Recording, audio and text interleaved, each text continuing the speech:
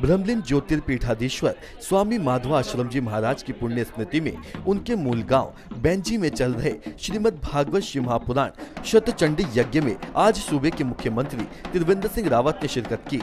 इस अवसर पर उन्होंने ब्रह्मलीन शंकराचार्य स्वामी माधवा आश्रम जी महाराज की मूर्ति व पर्वतीय लोक संग्रहालय का भी अनावरण किया।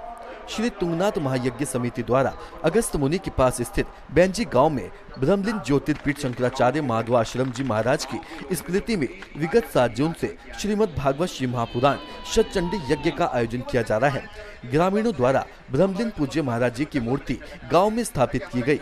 साथ ही पहाड़ की धरोहरों को संजोए रखने हेतु पर्वतीय लोक संग्रहालय की स्थापना की गई।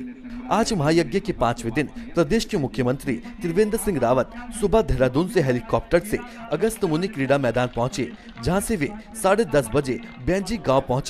जहाँ उन्होंने ब्रह्मलीन शंकराचार्य जी की पुण्य स्मृति में हो रहे महायज्ञ में प्रतिभाग किया, तथा बेंजी में स्थापित माधवा आश्रम महाराज जी की मूर्ति व पर्वतीय लोक संग्रहालय का अनावरण किया।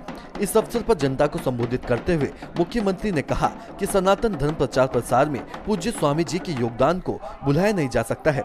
उन्होंने कहा कि ब्रह्मलीन महाराज जी ऐसे संत थे, जिन्होंने प्रदेश के विकास के लिए एक बार प्रदेश की सरकार को राजनीतिक अस्थिरता से भी उभारा। उन्होंने पर्वतीय लोक संग्रहालय को ऐतिहासिक व भव्य बनाने का आश्वासन स्थानीय जनता को दिया। इसके लिए उन्होंने पर्याप्त ज़मीन उपलब्ध कराने को कहा।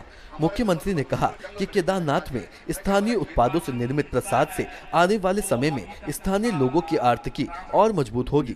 मुख्यमंत्री के साथ सूबे के पर्यटन मंत्री सतपाल महाराज ने भी महायज्ञ में प्रतिभाग किया।